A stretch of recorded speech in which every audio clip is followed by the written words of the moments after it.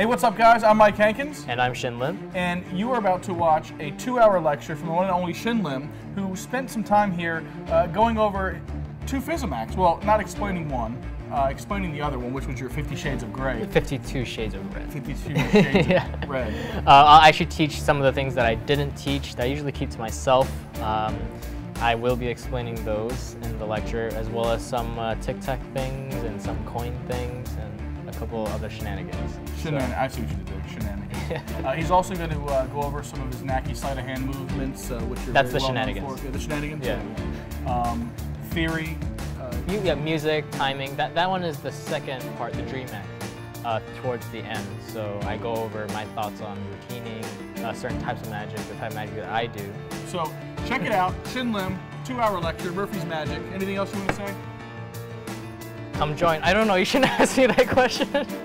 so come join me. You'll be learning all of this and this. You just wink, bro.